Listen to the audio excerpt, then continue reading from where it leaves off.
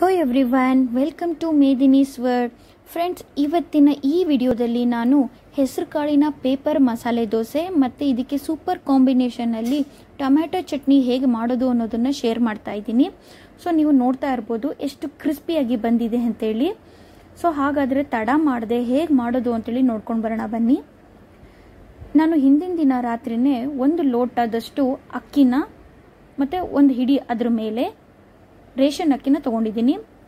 ಮತ್ತು ಅದೇ ಲೋಟದಲ್ಲಿ ಒಂದು ಲೋಟ ಫುಲ್ಲು ಹೆಸರು ಕಾಳನ್ನು ತೊಗೊಂಡಿದ್ದೀನಿ. ನೀವು ಬೇಕಿರೋ ಮೆಜರ್ಮೆಂಟು ಒಂದು ಲೋಟ ಅಕ್ಕಿಗೆ ಒಂದು ಲೋಟ ಹೆಸರು ಕಾಳನ್ನು ಸಹ ತಗೋಬೋದು. ಇದನ್ನು ಎರಡು ಸರಿ ಕ್ಲೀನಾಗಿ ವಾಶ್ ಮಾಡಿ ಇಟ್ಕೊಂಡಿದ್ದೀನಿ. ಈಗ ಇದು ಮುಳುಗುವಷ್ಟು ನೀರನ್ನು ಹಾಕಿಡ್ತಾ ಇದ್ದೀನಿ. ಇದು ಓವರ್ ನೈಟ್ವರೆಗೂ ನೆನೆಯೋದಕ್ಕೆ ಬಿಡಬೇಕಾಗುತ್ತೆ. ಈಗ ನೆಕ್ಸ್ಟ್ ಡೇ ಮಾರ್ನಿಂಗು ಸೊ ನೋಡ್ತಾ ಇರ್ಬೋದು ನೀವು, ಅಕ್ಕಿ ಮತ್ತು ಹೆಸರು ಕಾಳು ಎಷ್ಟು ಚೆನ್ನಾಗಿ ನೆಂದಿದೆ ಅಂತ ಹೇಳಿ. ಈಗ ಇದನ್ನು ನಾವು ಜಾರಿಗೆ ಹಾಕ್ಕೊಂಡು ರುಬ್ಕೊಂಡು ಬರೋಣ. ದೋಸೆ ಹಿಟ್ಟಿನ ಹದದಷ್ಟೇ ನಾವು ನುಣ್ಣಗೆ ರುಬ್ಕೊಂಡ್ಬರ್ಬೇಕಾಗುತ್ತೆ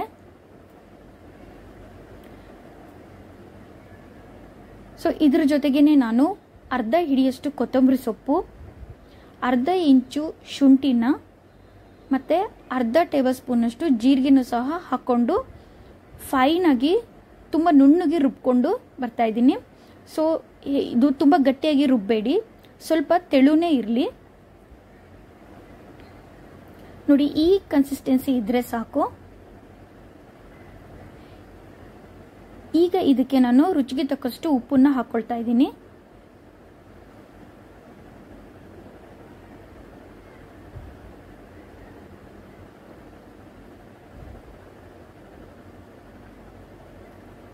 ಈಗ ಎರಡು ಚಿಟಿಕೆಯಷ್ಟು ನಾನು ಬೇಕಿಂಗ್ ಸೋಡಾ ಅಂತಂದರೆ ಅಡುಗೆ ಸೋಡಾನ ಸೇರಿಸ್ಕೊಳ್ತಾ ಇದ್ದೀನಿ. ಇದು ಕಂಪ್ಲೀಟ್ಲಿ ಆಪ್ಷನಲ್ ಬಟ್ ಇದನ್ನು ಹಾಕ್ಕೊಳ್ಳೋದ್ರಿಂದ ದೋಸೆ ಕ್ರಿಸ್ಪಿಯಾಗಿ ಮತ್ತು ಸಾಫ್ಟಾಗಿ ಬರುತ್ತೆ. ಇದನ್ನು ಹಾಕ್ಕೊಂಡು ಚೆನ್ನಾಗಿ ಮಿಕ್ಸ್ ಮಾಡ್ಕೊಬೇಕು. ಇದು ಸ್ವಲ್ಪ ಒಂದು ಟೆನ್ ಮಿನಿಟ್ಸು ನೆನೆಯೋದಕ್ಕೆ ಬಿಟ್ಬಿಡೋಣ. ಸೊ ಅಷ್ಟರೊಳಗಡೆ ನಾವು ಫಟಾಫಟ್ ಅಂತೇಳಿ ಟೊಮ್ಯಾಟೊ ಚಟ್ನಿ ಹೇಗೆ ಮಾಡೋದು ಅಂತೇಳಿ ನೋಡ್ಕೊಂಡು ಬರೋಣ. ಇಲ್ಲಿ ನಾನೊಂದು ಕಡಾಯಿನ ಇಟ್ಕೊಂಡಿದ್ದೀನಿ. ಅದಕ್ಕೆ ಎರಡು ಟೇಬಲ್ ಸ್ಪೂನು ಎಣ್ಣೆ ಮತ್ತು ಒಂದು ಟೇಬಲ್ ಸ್ಪೂನಷ್ಟು ಜೀರಿಗೆನ ಹಾಕ್ಕೊಂಡು ಒಂದು ಗಡ್ಡೆಯಷ್ಟು ಬೆಳ್ಳುಳ್ಳಿನ ಹಾಕ್ಕೊಂಡಿದ್ದೀನಿ. ಇದಕ್ಕೇ ನಾನು ಎರಡು ಮೀಡಿಯಂ ಸೈಜಿನ ಈರುಳ್ಳಿನ ಸೇರಿಸ್ಕೊಳ್ತೀನಿ. ಇದನ್ನು ಚೆನ್ನಾಗಿ ಎಣ್ಣೆಯಲ್ಲಿ ಬಾಡಿಸ್ಕೋಬೇಕಾಗುತ್ತೆ. ಈರುಳ್ಳಿ ಚೆನ್ನಾಗಿ ಫ್ರೈ ಆಗಬೇಕು. ಇದೇ ಟೈಮಲ್ಲಿ ನಾನು ಒಂದು ಅರ್ಧ ಹಿಡಿಯಷ್ಟು ಕರ್ಬೇವು ಸೊಪ್ಪನ್ನ ಹಾಕ್ಕೊಳ್ತಾ ಇದ್ದೀನಿ. ಈರುಳ್ಳಿ ಗೋಲ್ಡನ್ ಬ್ರೌನ್ ಬರಬೇಕು. ಅಷ್ಟು ಚೆನ್ನಾಗಿ ಹುರ್ಕೋಬೇಕು. ನೋಡಿ ಹೀಗೆ. ಈಗ ನಾನು ಮೂರು ಮೀಡಿಯಂ ಸೈಜಿನ ಟೊಮ್ಯಾಟೋನ ಸೇರಿಸ್ಕೊಳ್ತಾ ಇದ್ದೀನಿ. ಟೊಮ್ಯಾಟೊ ಬೇಗ ಸಾಫ್ಟ್ ಆಗಲಿ ಅಂತ ಹೇಳಿ ನಾನು ಸ್ವಲ್ಪ ಉಪ್ಪನ್ನು ಆ್ಯಡ್ ಮಾಡ್ಕೊಳ್ತಾ ಇದ್ದೀನಿ. ಆಮೇಲೆ ನೀವು ಟೇಸ್ಟಿಗೆ ಸರಿ ಹೊಂದುವಷ್ಟು ಉಪ್ಪನ್ನು ಹಾಕ್ಕೊಳ್ಳಿ. ಈಗ ನಾನು ಅಚ್ಕಾರದ ಪುಡಿ ಹಾಕ್ಕೊಳ್ತಾ ಇದ್ದೀನಿ. ನೀವು ಅಚ್ಕಾರದ ಪುಡಿ ಬದಲಾಗಿ ನೀವು ಒಣಮೆಣಸಿಕಾಯಿ ಸಹ ಯೂಸ್ ಮಾಡ್ಬೋದು ಇಲ್ಲಿ. ಇಲ್ಲಿ ಟೊಮ್ಯಾಟೊ ಮತ್ತು ಈರುಳ್ಳಿ ಚೆನ್ನಾಗಿ ಸಾಫ್ಟ್ ಆಗಬೇಕು. ಅಲ್ಲಿವರೆಗೂ ಚೆನ್ನಾಗಿ ಎಣ್ಣೆಲಿ ಬಾಡಿಸ್ಕೊಳ್ಳಿ. ನೋಡ್ತಾ ಇರ್ಬೋದು ಎಣ್ಣೆ ಬಿಟ್ಟಿದೆ. ಟೊಮ್ಯಾಟೊ ಮತ್ತು ಈರುಳ್ಳಿ ಚೆನ್ನಾಗಿ ಸಾಫ್ಟ್ ಆಗಿದೆ. ಈಗ ಗ್ಯಾಸ್ ಫ್ಲೇಮನ್ನು ಆಫ್ ಮಾಡಿಬಿಟ್ಟು ಕೊತ್ತಂಬರಿ ಸೊಪ್ಪನ್ನು ಹಾಕೋಬೇಕಾಗುತ್ತೆ. ಸೊ, ಇದು ಕಂಪ್ಲೀಟಾಗಿ ನಾವು ತಣ್ಣಗಾಕೋಕ್ಕೆ ಬಿಡಬೇಕು. ತಣ್ಣಗಾದ ಮೇಲೆ ನಾವು ಜಾರಿಗೆ ಹಾಕ್ಕೊಂಡು ಚಟ್ನಿ ಕನ್ಸಿಸ್ಟೆನ್ಸಿಗೆ ನಾವು ರುಬ್ಕೋಬೇಕಾಗುತ್ತೆ.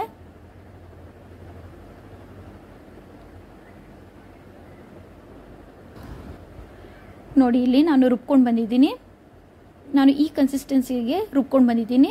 ನೀವು ಬೇಕಿರೋ ಇದನ್ನು ತೆಳ್ಳಗೆ ರುಬ್ಕೋಬೋದು. ನಾನು ಇಲ್ಲಿ ಯಾವುದೇ ರೀತಿ ಒಗ್ಗರಣೆ ಕೊಟ್ಟಿಲ್ಲ ಇದಕ್ಕೆ. ನೀವು ಬೇಕು ಅಂತಂದರೆ ಒಗ್ಗರಣೆ ಹಾಕೋಬೋದು. ಈಗ ದೋಸೆ ಮಾಡೋದನ್ನು ನೋಡ್ಕೊಂಬರೋಣ.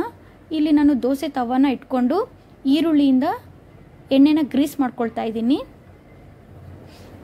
ಇಲ್ಲಿ ಎರಡು ಸೌಟ್ ಆಗೋಷ್ಟು ನಾನು ಹಿಟ್ಟನ್ನು ಹಾಕ್ಕೊಳ್ತಾ ಇದ್ದೀನಿ. ನೀವು ಬೇಕು ಅಂತಂದರೆ ಉತ್ತಪ್ಪ ಸಹ ಮಾಡ್ಕೊಬೋದು. ನೀವು ಎಷ್ಟು ತೆಳ್ಳಗೆ ಬೇಕಾದ್ರೂ ಹಾಕೊಬೋದು. ನೀವು ಎಷ್ಟು ತೆಳ್ಳಗೆ ಹಾಕೊಂಡ್ರೂ ಅಷ್ಟು ತೆಳ್ಳಗೆ ಇದು ಪೇಪರ್ ಥರ ಬರುತ್ತೆ ದೋಸೆ. ಅಷ್ಟೇ ಕ್ರಿಸ್ಪಿಯಾಗಿ ಬರುತ್ತೆ. ನಾನಿಲ್ಲಿ ತುಪ್ಪನ ಹಾಕ್ಕೊಳ್ತಾ ಇದ್ದೀನಿ. ನೀವು ಈ ಜಾಗದಲ್ಲಿ ಬೆಣ್ಣೆನೂ ಹಾಕೊಬೋದು, ಎಣ್ಣೆನೂ ಹಾಕೊಬೋದು. ಫ್ಲೇಮನ್ನು ಮೀಡಿಯಮಲ್ಲಿ ಇಲ್ಲಾಂತಂದರೆ ಲೋ ಅಲ್ಲಿ ಇಟ್ಬಿಟ್ಟು ಪ್ಲೇಟನ್ನು ಮುಚ್ಚಿಟ್ಬಿಡ್, ಮುಚ್ಚಿಡಬೇಕು. ನೋಡ್ತಾ ಇರ್ಬೋದು. ಎಷ್ಟು ಗೋಲ್ಡನ್ ಕಲರಲ್ಲಿ ಬಂದಿದೆ. ಎಷ್ಟು ಕ್ರಿಸ್ಪಿಯಾಗಿ ಬರುತ್ತೆ ಅಂತಂದರೆ ನೀವೇ ನೋಡ್ತಾ ಇದ್ದೀರಲ್ಲ. ಎಷ್ಟು ಟ್ರಾನ್ಸ್ಪರೆಂಟಾಗಿ ಕಾಣಿಸ್ತಾ ಇದೆ ದೋಸೆ ಅಂತ ಹೇಳಿ.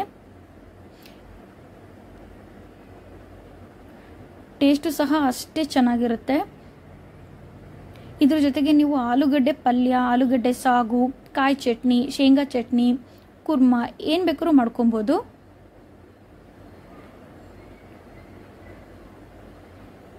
ನೋಡಿ ಹೇಗೆ ಮಸಾಲೆ ದೋಸೆ ಥರ ಬಂದಿದೆ.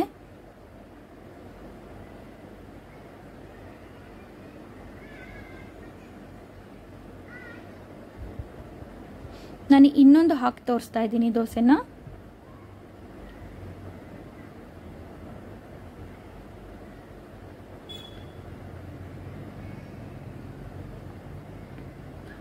ಸೊ ಯೂಶಲ್ ಆಗಿ ಉದ್ದಿನ ದೋಸೆ ತಿಂದು ಬೋರ್ ಆಗಿದ್ರೆ ಒಂದ್ಸರಿ ಈ ರೀತಿ ಹೆಸರು ಕಾಳಿನ ದೋಸೆನ ಟ್ರೈ ಮಾಡಿ. ಇದು ಆರೋಗ್ಯಕ್ಕೂ ಒಳ್ಳೆಯದು ಮತ್ತು ಮಕ್ಕಳ ಲಂಚ್ ಬಾಕ್ಸಿಗೂ ಸಹ ಇದನ್ನು ನಾವು ಮಾಡ್ಬೋದು.